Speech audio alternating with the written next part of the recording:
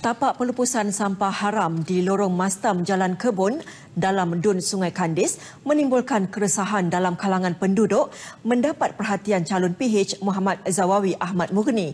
Ketika berkempen pagi tadi, beliau sempat meluangkan masa ke lokasi yang dimaksudkan dan melihat sendiri tapak berkenaan yang telah terbakar sejak dua hari lepas. Serentak dengan itu, Muhammad Zawawi menzahirkan komitmen untuk menjadikan kawasan luar bandar dan bandar dalam dun Sungai Kandis selamat serta bersih pencemaran alam sekitar. Pandangan turut disuarakan untuk pihak berwajib mengambil tindakan segera serta menguatkuasakan undang-undang sedia ada khususnya di lokasi pelupusan sampah haram.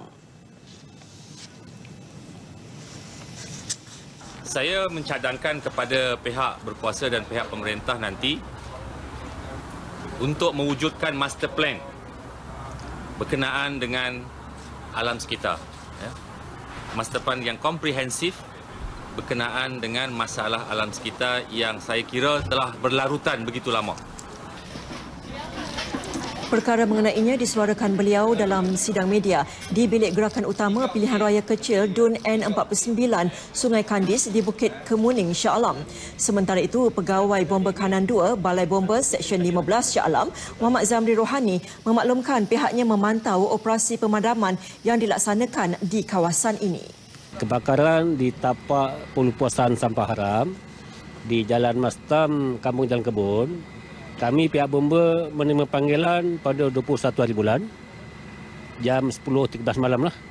So kami bertindak selepas menerima panggilan sehingga hari ini kebakaran masih belum dapat dipadam lagi lah. Kami serah kepada MBSA dengan alam sekitar lah untuk tindakan selanjutnya.